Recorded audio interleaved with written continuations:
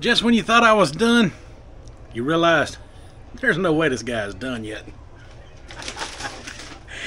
so since I'm on a roll today and it is still second day of July 2024, one more thing I got to show you. How to make some Sonic. Because these are the best ones that you can buy from the grocery store. Some Sonic chili cheese tots at home. Let's get into it. I'm to open these bad boys up, put them in the air fryer, let them cook a little while, and then we're to load them down with some chili and some cheese, latchkey style. And uh, yeah, we'll be using that famous latchkey chili that we made up earlier today. Link for that down in the description. All right, then. All right. Sorry about that. This is food I got covered up that I've been making all day. It's just hot dog, wieners, and onions, and my chili, which is going to be necessary for this recipe. So, basically, I'm making like a single server for just me for now because uh, no one else is here to eat any with me right this second. So, basically what I'm going to do is, uh, since we're doing this in the air fryer, we got to take a few precautions here. So, I'm going to put a little bit of oil in this thing with them. This is going to help with the crispness in the air fryer. What you're going to want to do is you want to get your hand in there and make sure they're coated really well with the oil. This could take a minute. Don't worry, it'll wash off with a little Dawn soap. It's a little nasty feeling, but uh, hey, for the extra step here. Trust me. And then we're going to take kind of a deep pan so it won't be splattering all, all over our uh, air fryer. I want to keep these kind of centered here. Alright. And there we go. Alright, so I'm going to go preheat the air fryer, and I'll see you in a second. Alright, so our air fryer just preheated. So I'm just going to open it up here. And uh, I have one of those oven air fryers. If you don't have an air fryer, an oven will work just fine for this. Just fine for this.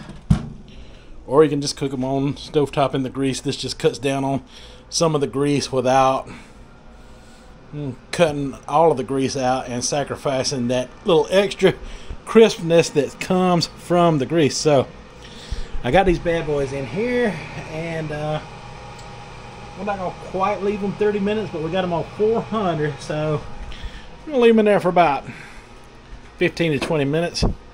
We'll come back and check on them. While we're doing that, I'm going to shred up some sharp, some sharp cheddar, some sharp cheddar. All right, so they are done, and they have crisp up to my liking. Anyway, let's see if I can get them out. Oh, listen to them sizzle. Oh yeah. All right, so just trying to find me a place on the counter to put them. Oh, I'll put them on top of this other pan here. That's perfect. And uh, I'll let you look at them again. Oh yeah, they're good and golden brown. A little bit of extra oil helps. You want a little bit deeper tray to catch that oil though. You want it getting all over your air fryer. And uh, I got me a plate to put these on. I'll show you what we're gonna do here. We're gonna make us uh, chili cheese tots. Place you right here for a second.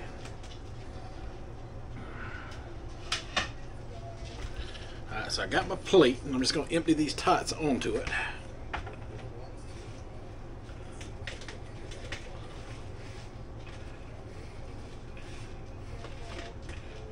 Ooh, good and hot, folks. Good and hot.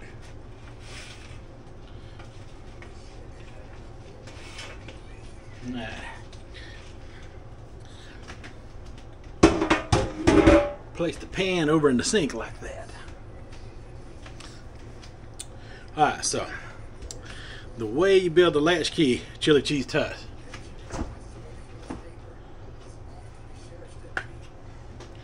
First of all, we gotta get some of that there. Salt and pepper on, like that. Mm, pepper ain't coming out good. Oh, it's closed up, no wonder.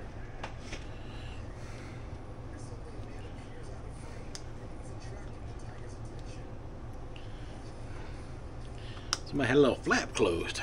Well, we can get no pepper out like that. Let's try that again. Oh, there we go. Now we're cooking with gas. Good and peppery.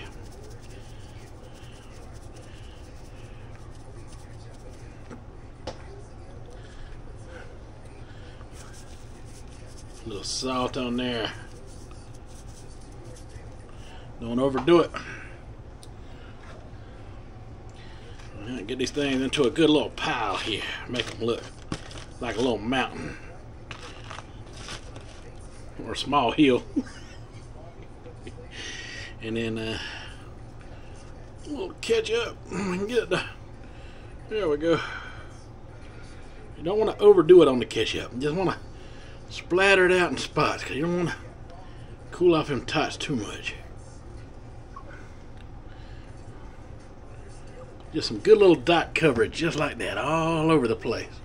Alright? And then we'll do the same thing with some mustard. If you like mustard, that is. If you don't, you can leave off whatever you like to leave off. But I like it on mine. Splattered around just like that. Just like that. And then we're going to take some of my latchkey chili here. Place it on there. Spread it out a little bit. All over the place like that.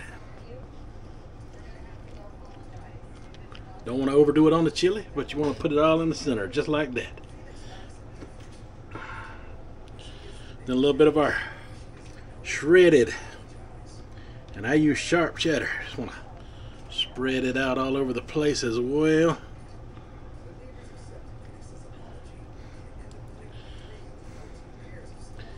Add some more chili to melt that up a little bit.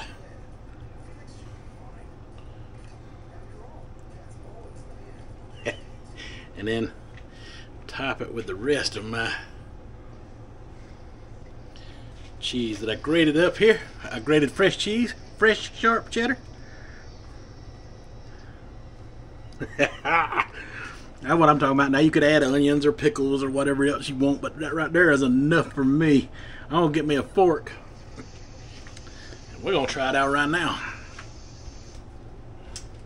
Have my drink on standby. All right, folks, y'all ready for this? Y'all excited, man? This is one I've been excited for all day. Now I like a good hot dog, and I like some good old chili cheeseburgers and stuff like that, but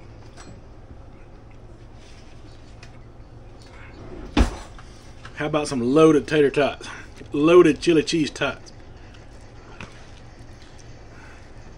We'll get a little bit of everything on there, like, like that. Like that, a good bite like that.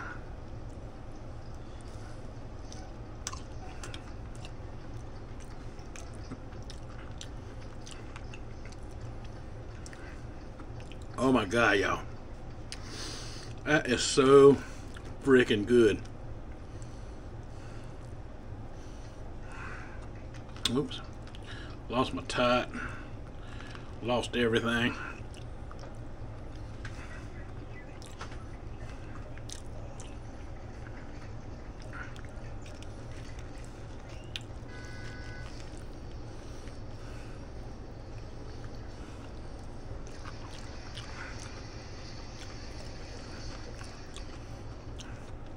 Here, how crunchy they came out. Forgot to mention that part.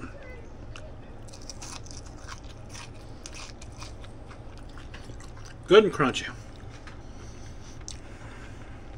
If I was to make these for you and serve them to you, you would not be able to tell they were air fried. Sonic has the best tater tot for the air fryer. Mmm.